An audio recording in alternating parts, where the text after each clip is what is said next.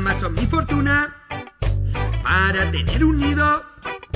Quiero vivir contigo, hacerte muchos hijos. Nosotros empezamos en 1990 porque nosotros nos juntamos en el Mundial de Italia en 1990 y a partir de ahí empezamos a... Eso nos marcó ese Mundial. Ahí nos conocimos con el batero, él iba en skate, yo en bicicleta, éramos más adolescentes.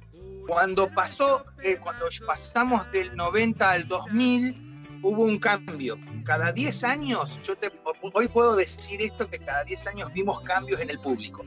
Después empezaron a estar los hermanos de los que venían antes, porque los que venían antes o se habían ido a estudiar a Capital, a La Plata, no sé, otro se embarcó y se fue allá a San Antonio Este, no lo vimos más, otro se fue a Ingeniero Jacobazzi, no sabemos nunca más qué pasó.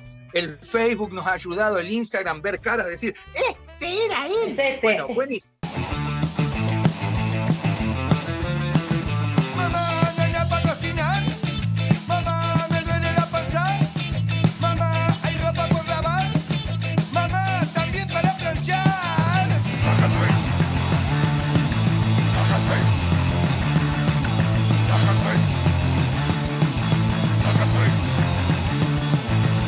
Después, en los últimos 10 años, en estos del 2010 para acá, a los hijos.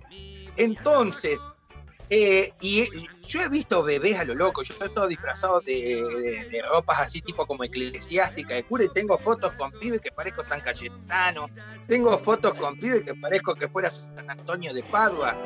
Eh, No insistas.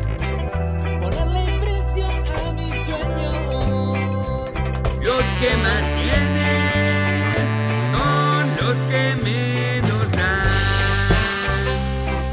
este parate, y más a los artistas, nos ha dejado como, eh, como diciendo, ¿qué pasó? Bueno, hay que meterse para adentro, hay que reinventarse, hay que buscar la manera. Hemos tocado temas cada uno en su casa, también nos sirve para comunicarnos con un montón de gente que antes no lo sabíamos.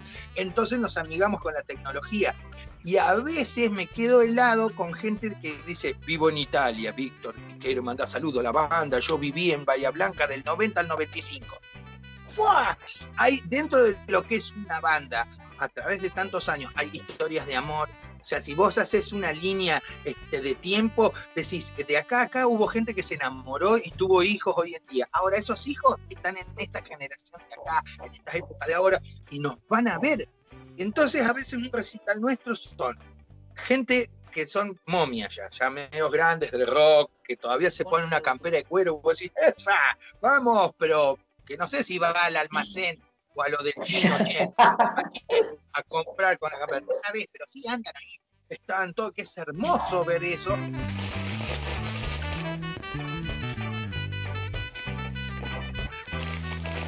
¡Rapetti!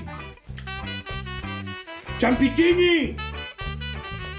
Cuando toque ese nervio, vamos a comer unos girasoles. Vamos a ir a, a alentar a Cerebro. ¡Rapetti! ¡Champichini!